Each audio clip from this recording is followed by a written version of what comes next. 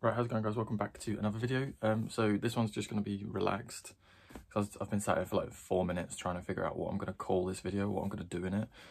So I've decided it's just going to be a relaxed one. I'm just going to show you some updates, do a couple of bits, and we're just going to chill out, I think. So first thing I'll mention is this guy here. Um, this was in an upcoming video. I just haven't received the second parcel yet. So yeah, as um, I got this from Thompson and Morgan, and they sent me this uh, for free, which was really nice. But you'll understand, like when I up when I upload my next, well, when I upload the video about it, you'll you'll understand. But um, I got this Begonia maculata Wightii, and I don't I don't know if I can show the pot or not because, and I mentioned this in that video as well. But I've I'm I planted it in this um, pot that's I don't know if I can show it or not. It's like a little bit rude, basically. But um, I'll leave it up to your imagination. If I like cover the the majority of it, yeah, you can kind of understand what it is. Um, but this plant came looking super healthy, and it's just looking so lovely. I, I don't want it to get too much taller. Obviously, it's going to, but I may propagate it once it gets a bit taller because I don't really have space for something much taller than this. Um, but going on from that, I have, I don't know how long ago I showed you the my propagation box and what's growing in there because um, Emma Greenwood sent me a Begonia maculata Wightii um, a few months ago now and it has grown so much. Look at that. Its um, its main leaf did just come off, like as I got it out of the propagation box. That was the leaf that she sent to me. Was it already was it already growing or not? Yeah. I don't remember actually. But this is what it looks like now. It's its oldest leaf is getting a little bit um a little bit crispy on the end, but that was because it was accidentally trapped in the propagation lid and I hadn't realised, but um, the rest is looking super healthy. And the coloration is starting to come on on the backs of the leaves. Because um, as you would have seen on this one, the back's like super dark burgundy. So I'm so happy with that. And I think I could potentially plant them both together one day, but they'll need to go into a bigger pot. But that one is looking so lovely. So that's really good. Um, and let's show some other bits. Oh, right, okay. But I was gonna, uh, this was the first thing I was gonna do, but um, I forgot. So I went to a really random garden centre that um, they just seem to buy in whatever stock is available. Like they'll just it doesn't necessarily make sense what they have in stock. They just have loads of weird stuff in stock. And they bought in a begonia mix, and I found one of the begonias that I'd been looking for for such a long time, but I'd given up looking for it because I kind of just accepted that I was never going to find it. Um, and if you guys know Stories and Succulents or Laura, um, you'll know that her one of her like prized possession plants is her begonia um, breakdance, and you guessed it, that is the one I found. Um, it wasn't labelled as a breakdance, but I stared at it quite intently for a while and it's definitely the same one. I was like ecstatic when I found it and I picked it up straight away. But that is definitely, because it's got, I was looking at it and I was like, wait, has it got the green bits going through it? But it does, you see like there on the leaves, the green's going through. So I'm definitely going to try and propagate this. And it's like a super thick, healthy plant. Um, and it was only six quid as well, which was really good because I would have probably paid up to 20 quid for this, um, only because I know how hard they are to find. Um, but the foliage is just incredible on that. Because the closest I could find to the breakdance was a black fang, and I bought one of those from that place with the horrible uh, plug plants. no, that's unfair. I bought them from Dibley's, and um, it died, so... But I have this now, and I think I'm going to cut these two leaves off here and I'll propagate those because they're like hanging down, whereas the rest is like very upright. Um, and I do want to pot that into a bigger pot because um, a problem I've been having with my begonias recently is that they've been drying out and because begonias don't tend to wilt, I can't tell that they're dry or, I mean, I could go over and touch the soil, but I haven't been. Um, so a lot of leaves have been dying because of that, but I'm not going to allow that to happen to this one and I'm going to propagate it. Oh, it's so pretty. It's a shame you can't see it from like this side when the light's shining through it. I probably could try, but like the speckling on the leaves is just so pretty. yeah, I was very happy to find that. I literally picked it up straight away. And there's like four to choose from. So I was like picking them all up, taking them out of that plastic sleeves and just looking at them. Um, so like, I'm really happy that I finally got one of them. And I, because I think that was the one plant that I kind of had accepted that I was never going to get it. So to find it just randomly was really good. Um, what else do I need to show you guys? Oh, right. I feel like I showed this plant a lot, actually. I do. But my Philodendron verrucosum has grown so much. Um, and his newest leaf actually has the the like textured petiole, whereas the other ones didn't. So that's really cool, and it looks kind of. Look, I don't know. It looks a bit weird, like a little bit gross, but it's really cool because that's like the most mature leaf I have, which is wicked. Oh yeah, the, I guess the oldest one had it slightly, because that was the leaf that was sent to me by Emma, um, the propagation leaf, and all this is new growth. So that's like the first leaf I've grown that's got the hairy petiole, which is super cool. Um, yeah, and these, I don't, I don't know who's doing this. Well, I do, but um, these have been, well, I've been, they've been quite popular for a while now. But the price of these is absolutely disgusting. Um, they've got these in at Perrywoods at the moment, and I think they were oh, but uh, they were between 100 was it like 160 to 210 or something like that? I don't know the exact number but um that it was like that much for a plant about this size probably less leaves. And i just think that is like so like i don't really know i just think it's so unnecessary and uh, it's just such it's so greedy because these grow so quickly. So I just think it's like just have uh, have a bit more patience, everyone. If you're after one of these, do not pay that much money for one. Either buy a propagation, like you you can see here grows really well, or wait until maybe in the summer or the following year and the price is going to absolutely plummet because people are going to be mass producing them because they're like onto a gold mine because of how much people can charge at the moment. So just don't I'd say don't buy them, but obviously if you've got the money to do that, you go for it. But I just think that is disgusting how they can charge that much money for something that grows so quickly. Like philodendrons grow so quick. They, it's not like like ZZs that grow super super slow. That's why the price of ZZ uh, ravens has always been pretty high because they grow so slow.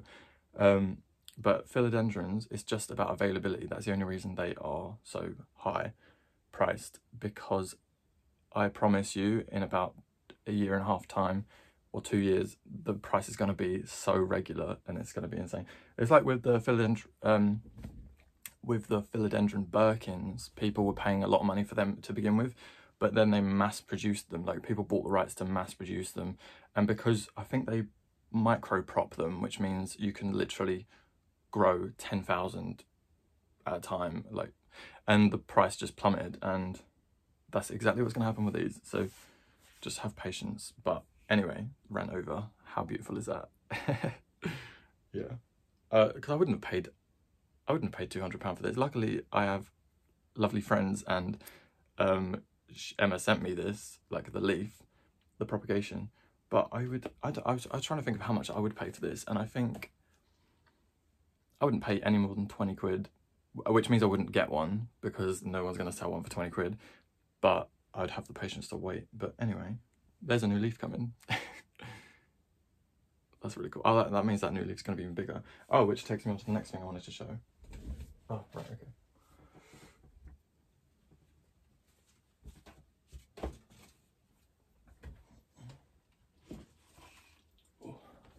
Right, so next up, I wanted to show my Philodendron Birkin, and this is amazing. Oh, um, I haven't replied, I forgot.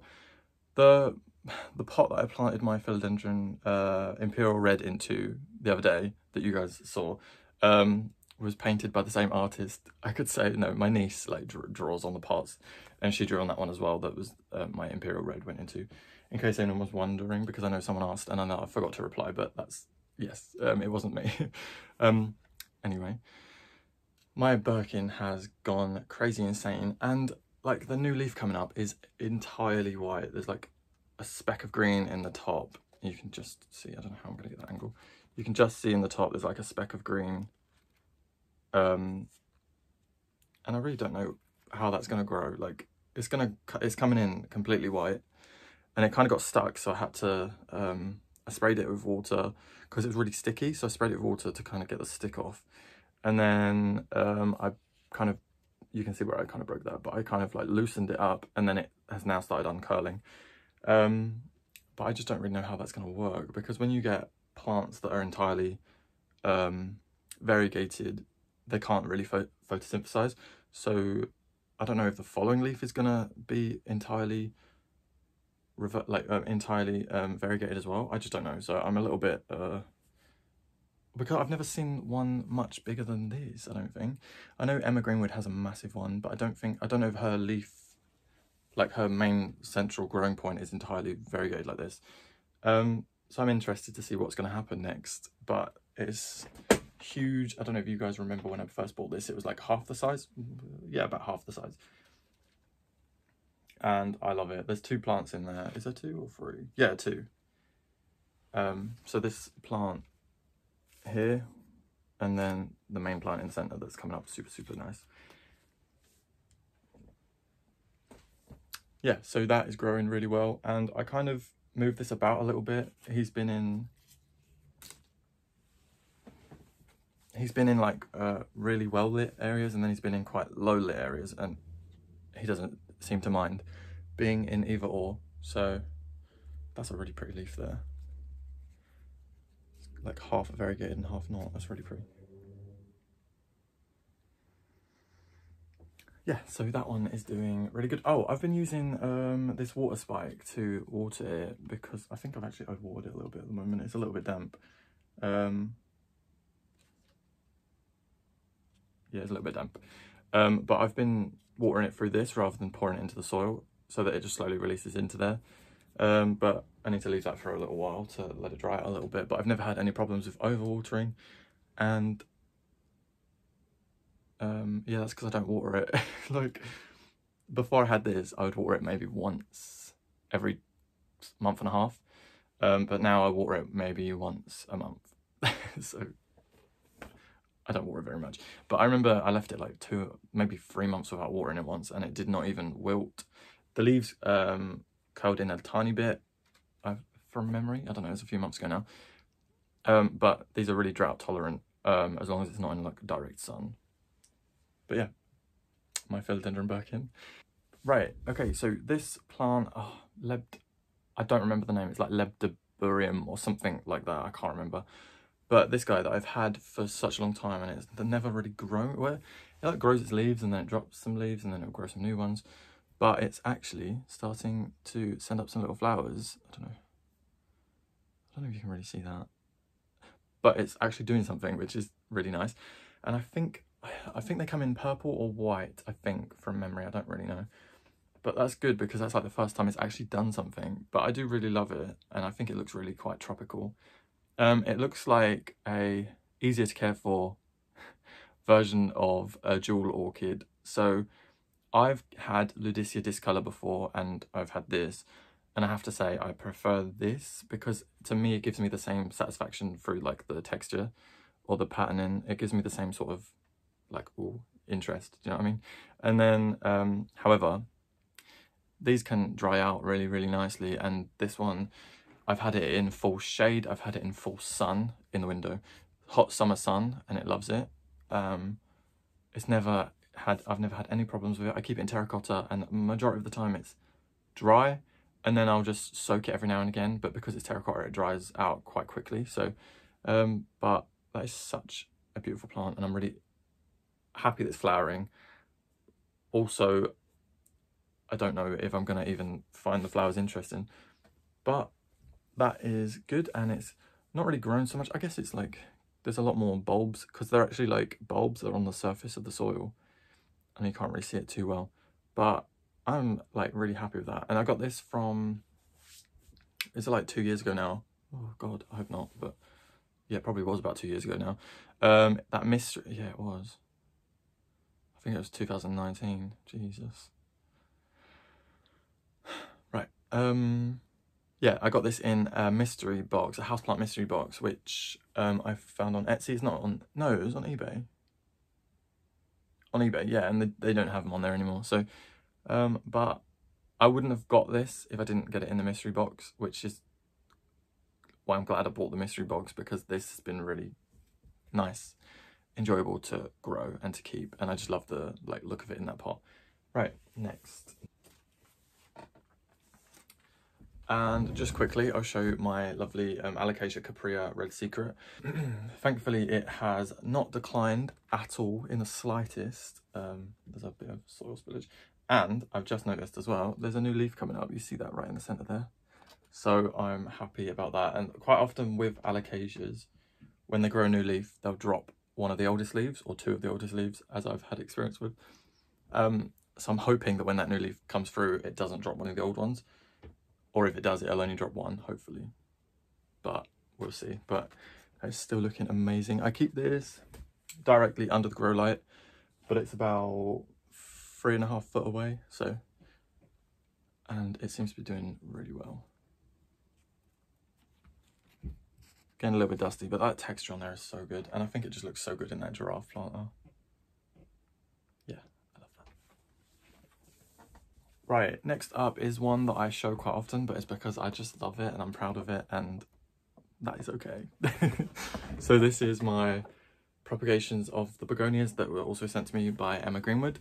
Um, I feel like this channel is an Emma Greenwood, is sponsored by Emma Greenwood, right? Um, and um, Laura, because uh, Laura bought me the Alocasia, which I bloody love it. Um, and then Emma Greenwood sent me all of these and the Begonia maculata. And what else? Loads of stuff. She sent me loads of stuff. She's lovely. Go check her channel out. Both their channels. Go check them both out.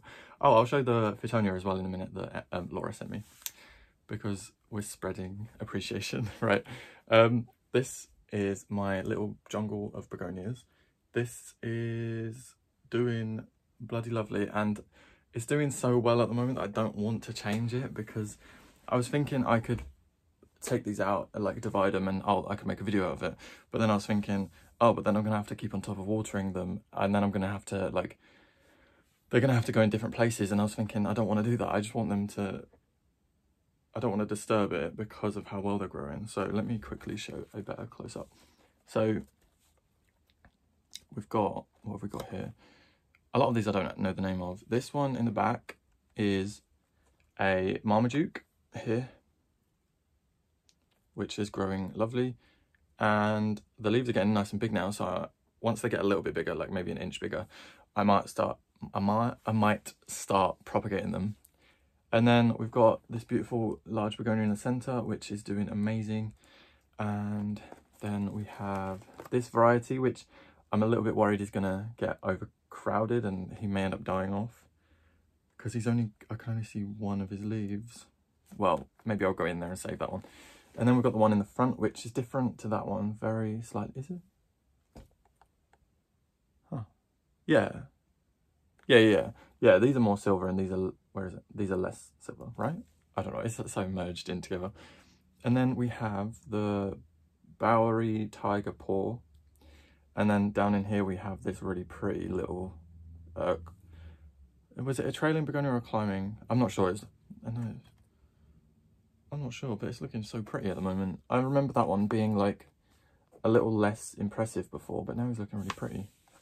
Oh, it'd be interesting to see if any of these flower in here actually. Oh yeah, so what I was saying before I got distracted, I was thinking about potentially, I don't have the space. Uh, anyway, right. I was thinking about putting these into a bigger propagator because basically I just keep them in a propagator all the time. So they've just got a lid on, no ventilation, no holes. I mean, there's obviously a little tiny gap between the plastics, um, but that has worked so well for me, as you can see. And I don't like, I the last time I watered this, I genuinely don't remember. Uh, months and months and months ago. Um, because it just maintains its own moisture. Um, oh, and then down there we've got another Marmaduke. So this was a Marmaduke off of my, my, my plant. Oh, I'll show you that in a minute as well. Um, yeah, so I was thinking about putting these into just a larger uh, propagator and growing them on. So give them a little bit deeper, deeper soil, um, spread them out a little bit because I've, I don't know, I think I've, because I've kind of had a lot of problem with my begonias that aren't in propagators, it makes sense to put them in propagators, but then I don't want propagators everywhere. So maybe I just make one terrarium potentially. I don't know. I, have got to, I've got to think about space. And at the moment, these are like directly under my grow light, which is the like obviously the prime position for them. Um, but that's definitely something worth considering. Uh, yeah. Hmm. Hmm. Excuse my spot on my face. um, so they are doing so, so good. And I'm definitely going to need to do something with them relatively soon. Oh, the Bowerae. I, I spoke about this in my recent video, but um, this is the other one. This is one that hasn't been in the propagator. And you can see it's got smaller leaves than the one that is. So yeah. I've kind of just had him balanced in that pot. I don't want to put him in the pot because he seems to be doing fine like that. So I'm just going to leave it like that. And yeah, he's got a drainage hole. And it looks like a little honey pot, doesn't it? I like that pot. Right, and then next we have my um, Alocasia amazonica or Alocasia Polly. yeah, there's a fly. Um, which is doing all right, but well, it's not really. I mean, this leaf it's doing good. No, this leaf is dying off, and this is the last one we've got, and there are no signs of new growth. You can see there, no signs of new growth, but it's not dead, and it's like nice and firm. And I've been watering it when it gets. I don't even know where this new leaf is going to come from. Like I don't know. Oh, there, there, there. Right. Okay. Yeah. So we've got the little, the little slice there, which is where the new leaf is going to come from. No sign of any growth yet. Um, I did let this dry out again for a little while, a long while. um, but he's nice and damp at the moment. Oh, I only paid four ninety nine for it, so like we ain't playing with um, big money here. um, I'll probably take that leaf off. Let's do that right now. Now we've got a a poly palm tree. We've got the single, oh, that looks kind of cool. it's like Totoro's little leaf, big leaf. Um, that's that. I just thought I'd show you. It's not dying. It's not dying. I don't. No, that this leaf is healthy. If if I was, if this leaf was deteriorating, I'd be genuinely concerned about it. But I'm not. There's a hair on there. Yeah, so that actually looks kind of cute like that. Um, but I'll keep you guys updated. Uh, what we got next? Right, my um, Rhipsalis paradoxa has, I just noticed it yesterday because I kind of keep it in a position where I don't really see it too often. Um, we've got some new growth on the top here. We have a little new growth, oh, you see it? On the end, you see, can you see it? Where can I put it there? In front of my face, you can see it just that little tiny tip of end growth there. And then this one is branching out up here and then three branches down here. So that's really cool. And he's proper trailing now. Um, he's probably going to need a bigger pot relatively soon. But with this one, I really let it dry out between, it looks so like scraggly. Um, but I let it dry out quite a lot, well, all the way between watering. Um, and then I water it. And he seems to be enjoying it and he looks so strange. It's like robot arms. Um, but I'm happy it's growing and the the new propagations that I put in there, one of them's growing and one of them's just chilling, nicely rooted, so all good. Oh, it's got another root coming out of the stem, you see just there. That's quite cool. Yeah, so these root really easy. So um, depending on the size of plant you want, you can get these like giant baskets of these now for 20 quid, I think. Um, but I got this propagation for like five, was like four ninety nine. No, it was fiver, I think. Um, and they're growing relatively quickly. Like I think I would have regretted buying a large one because I don't have the space, but this one seems to be scratching the itch and growing really nicely.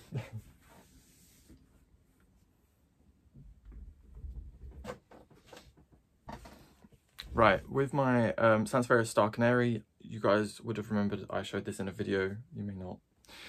Um, I potted it up into a terracotta pot, the same as my Libdoburium, whatever it's called, was in. Um, and I changed it because I, I just didn't like it and the pot, it wasn't fitting in the pot nicely and it was drying out too quick. I say too quickly, but like, no, I think the problem was that it wasn't absorbing the water when I wanted to water it. Um, so I've changed him into this pot um, and he's looking really good. I don't want to tip it because I just recently transplanted him. And yeah, he's looking lovely. That's all I have to say. um, these need water and these drying out too too quickly. Um, but these is one of my these these is this is one of my propagation trays of this Begonia Rex that I don't have the variety name. Um, this was like, it's down in my bathroom, you guys would have seen it before. I'm really not filling, like, I'm, like, I'm making you guys connect the dots rather than connecting the dots myself, which is such a lazy thing to do. But um, anyway, this has grown so well um, and so well so that it dries out so quickly, but I just don't want to transplant it. I just, maybe I'm thinking about, because the, that it's only like this deep, I may pull the whole thing out, add another layer of soil and then plug it back in just so it doesn't dry out so quickly. But it's growing beautifully and they are so easy to propagate. And these have actually been in here maybe half a year, probably longer. I just don't want to like make it feel real. But yeah, um, that's so pretty. I love that. That's what I'm going to hope to do with my um, begonia breakdance. Have loads of new growths because there's one, like, I won't count them. There's like over 10 in there. You see? And I need to water that. Where's my water? Water? I don't know when watering can is. Oh, it's over there. It's right over there. I will water this after. Remind me. Right, um, my Hoya polyneura propagation is I was looking at it, I was like, I was about to say it's doing really good, but I haven't looked at it. It is doing really good. Yeah, it's doing well good. Um, it's a bit dry now, so I'll water it. I've got, I've got a, oh no. I've been watering this one with rainwater. I don't know why, but I just have. You tell me why. I don't remember why, but I have been. Um, it's probably because it's in sphagnum moss, and I feel like rainwater's better for it, and I really want this to grow. So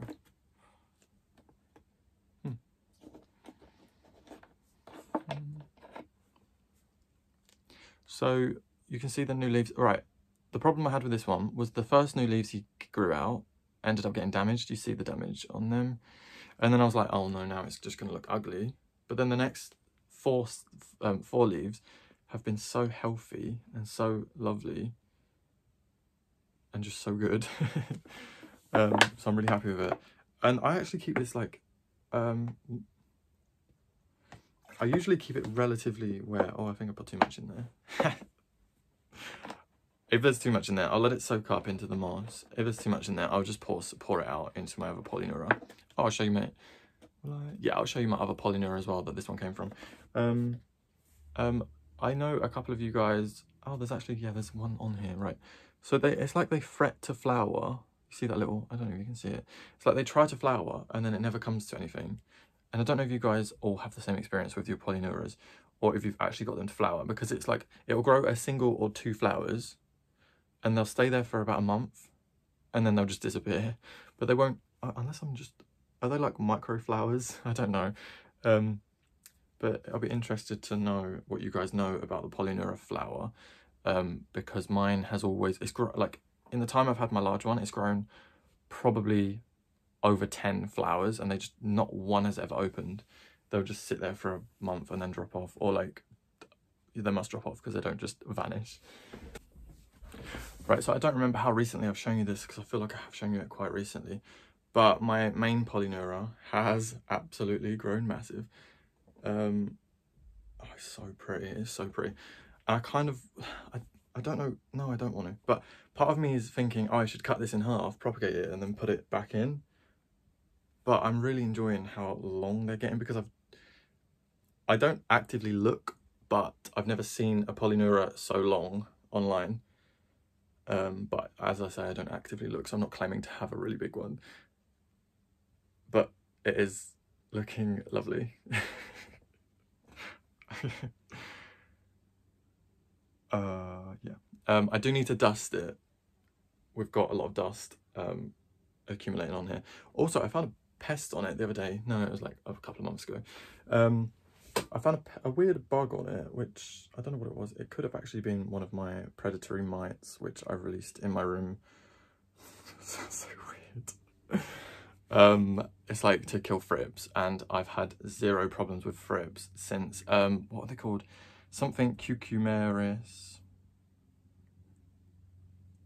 I don't remember the name. I remember the cucumeris because that seems like an easy word to remember. Um, right.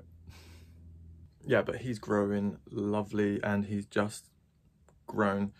Um, the leaves uh, like how I've noticed the growing pattern is that the leaves will take a really long time to grow, as in like the new shoot will take a long while to become like, it'll take a long time to start growing a new shoot, but then once the leaves begin to open, like once they begin to open, they just grow within a matter of days. Like this, these two leaves here, literally I'd say about three days ago, they were half the size.